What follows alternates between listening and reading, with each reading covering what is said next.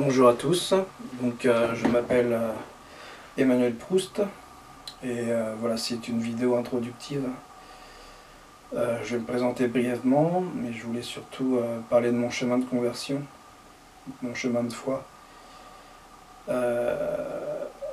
donc voilà, donc c'est juste une, petite vidéo pour, me présenter, pour, pour inaugurer une série. Et donc voilà, je suis né en 79, je suis cadre, euh, et euh, voilà, donc j'ai été baptisé à l'âge de 6 mois. Euh, j'ai fait ma, communion, ma première communion à 10 ans. J'ai été confirmé à 14 ans. Mais bon, comme beaucoup de Français, j'étais dans le monde J'étais pris par le monde, par, par, ses, séductions, par euh, ses illusions. Et donc j'ai commis beaucoup, beaucoup de, de péchés mortels. J'en suis pas fier. Euh, et, euh, et donc voilà, jusqu'à l'âge de 33 ans, je n'ai pas vécu des sacrements de l'Église catholique. Euh, par contre, je, suis passionné par la politique, en fait, depuis, euh, depuis que j'ai commencé des études de droit euh, à, l'université. Enfin, j'ai une formation essentiellement de droit et d'économie, et de sciences sociales d'une manière générale. Et donc, donc voilà, donc le, droit m'a donné goût à la politique et au, présidentiel de, de 2012 à la campagne présidentielle, j'ai rédigé un petit programme euh, politique d'une vingtaine de pages, mais euh, ce n'était pas très concluant euh, maintenant que je le regarde avec le regard de la foi. Mais par contre, au cours de, mes recherches pour faire ce programme, j'ai découvert un site internet. je dirais par hasard, mais le hasard n'existe pas puisque c'est la providence de Dieu qui se cache derrière chaque événement. Donc, euh, donc voilà, je suis tombé sur ce site qui s'appelle Apparition Mariale, tenu par euh, un certain Vincent de Tarlet. Et, donc j'ai eu un déclic, une sorte d'électrochoc. Euh, c'est-à-dire que bon, le site, le site recense énormément de prophéties, de prophètes contemporains, donc qui vivent, qui sont encore vivants en fait. Et, et donc je suis tombé sur des prophéties euh, qui nous promettent la guerre nucléaire. Donc ça m'a fait quand même un, choc.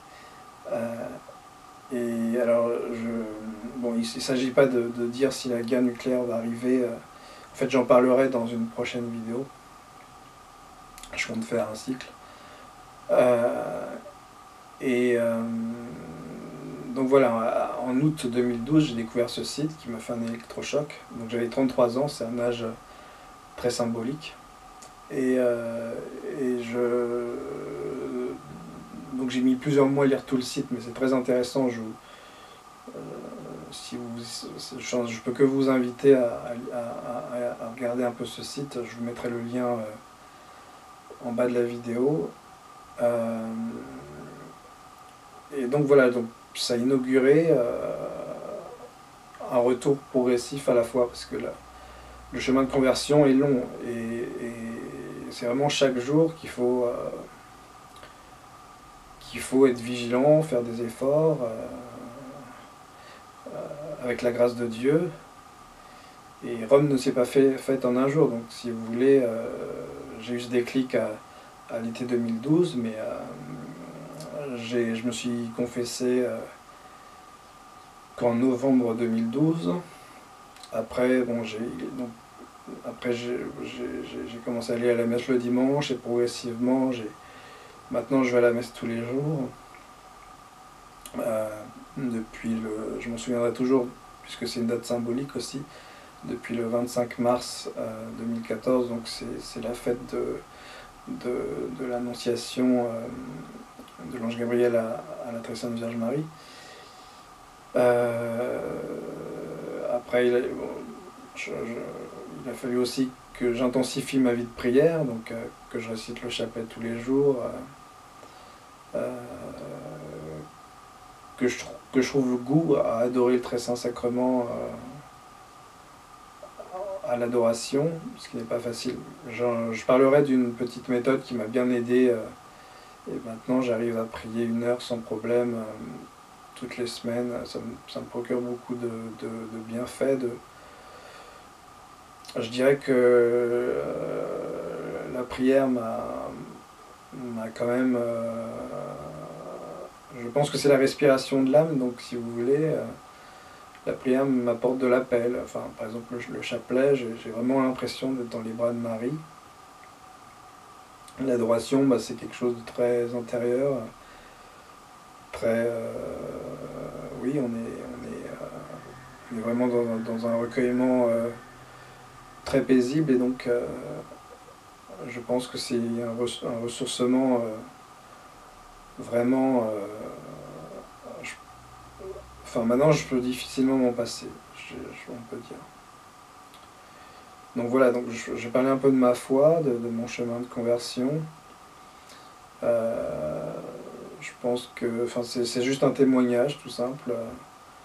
Je ne sais pas si ça peut inspirer euh, plusieurs personnes, mais euh, Dieu a dit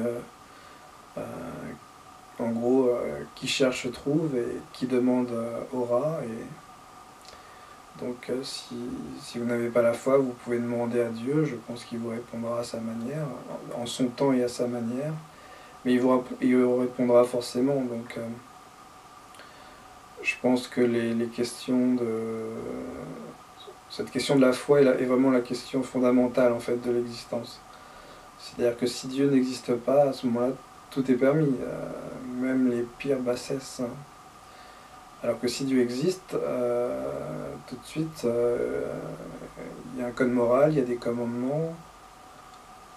Euh, l'existence prend tout son sens. Et donc, si vous voulez, si Dieu existe, il y a donc un code moral à respecter et donc un chemin de sainteté à prendre. Et je pense que la, vraiment la, meilleure des... Ou plutôt le... Enfin, je, pense que la chose la plus importante dans la vie, c'est le salut. C'est la question du salut. Et donc, euh, voilà, je vais faire la prochaine vidéo, ce sera sur euh, justement euh, comment accéder au salut, donc à la, et à la vie éternelle pour que Dieu soit tout en nous pour les siècles des siècles. Amen. Donc voilà, donc je, euh, vous invite aussi à, suivre mon actualité sur Facebook. Là aussi, je vous mettrai le lien. Donc euh, je peux déjà vous dire que la prochaine vidéo portera sur, euh, sur le chemin de sanctification. Voilà.